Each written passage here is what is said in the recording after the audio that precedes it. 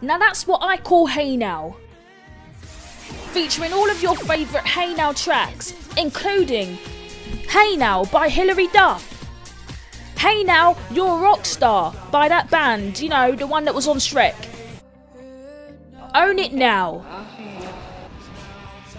So many more tracks included that we haven't actually shown in this clip, such as Hey Ya by Outkast, but you know, that's kind of not really exactly the right words of Hey Now, so we couldn't use it in the clip.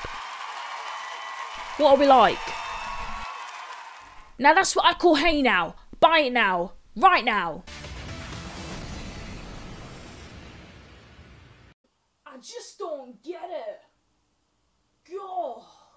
I don't get the joke. I just don't get it.